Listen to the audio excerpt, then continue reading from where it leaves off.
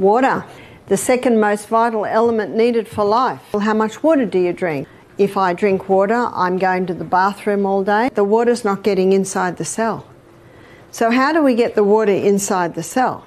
So, when you take a crystal of Celtic salt, put it on your tongue, and some say, How big's a crystal? Well, if you've got high blood pressure, start small, about the size of a sesame seed. Put it on your tongue, your mucous membranes start absorbing the minerals. The magnesium is taken to the cell membrane, and you drink your water, and that magnesium pulls that water inside the cell. It's the quickest way to hydrate a body.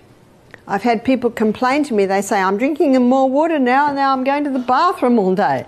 So I say, Are you are you having the salt? Have a little crystal be- before every glass of water.